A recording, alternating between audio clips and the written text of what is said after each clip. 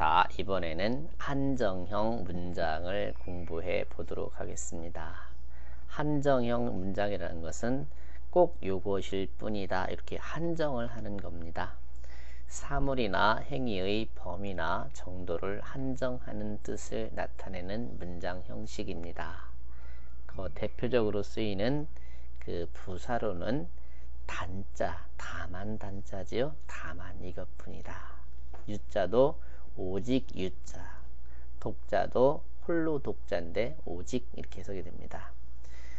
이것이 이것이 앞에 붙거나 아니면 끝에 이자거든요. 그만둘 이, 그칠 이, 뿐 이자입니다.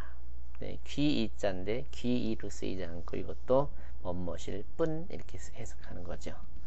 이, 이의 세자가 합해서도 똑같이 멋멋일 뿐 이렇게 해석이 됩니다. 등을 써서 멋멋일 뿐이다. 멋멋할 따름이다. 등의 뜻을 나타내는 문장이 한정형 문장입니다.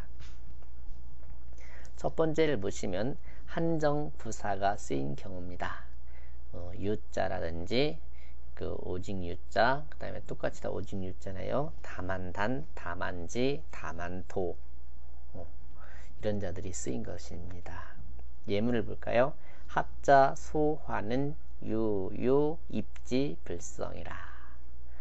음, 공부하는 사람들의 근심할 것은 오직 오직 입지 불성 뜻을 세우기를 진실되지 못하는 데에 있을 따름이다. 이 성자는 정성 성자로 되게 하는데 이것보다는 참될성, 참으로성 이렇게 해석을 하는 게 좋습니다. 두 번째 예문을 보시면 지, 제, 차, 산중이나 운심, 부지처라. 다만 지자지요. 다만 이 산 속에 계시건만은 구름이 깊어 계신 곳을 알 수가 없습니다. 이게 이제 심은자 불우라는 가도의 시에 나오는 구절이네요. 두 번째 보시면 아, 한정 중결사가 쓰인 경우입니다. 끝에 어조사 귀자 그 다음에 너이자지요. 이, 이, 이, 의 이렇게 세 자가 다 씁니다.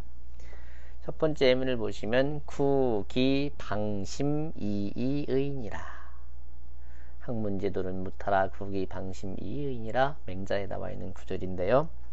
그 방자는 빠져나갈 방자예요. 내 몸에서 빠져나간 마음을 구할 따름이니라. 그게 바로 공부하는 방법이다 이거죠.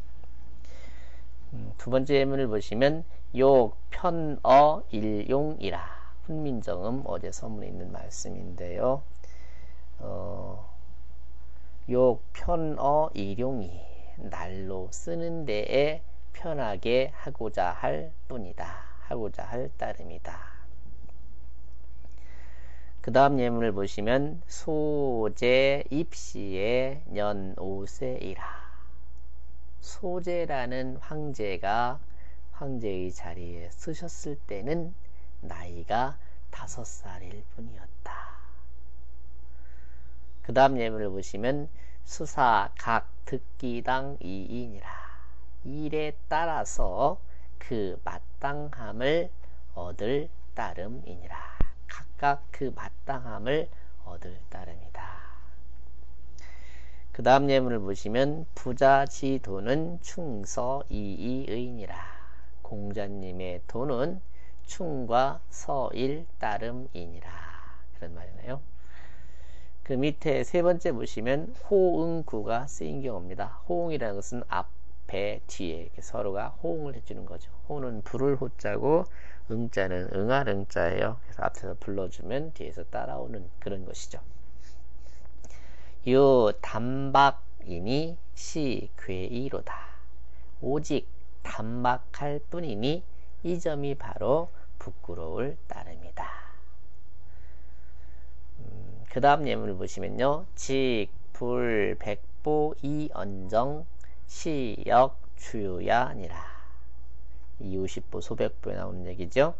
다만 직자 이런 때는 부들찌개 아니고 다만 백보가 아닐 뿐이지 이 또한 달아난 것이다 이거죠. 기타 한정형 문장의 예를 잠깐 볼까요? 편어 일용이 아까 했던 거고요.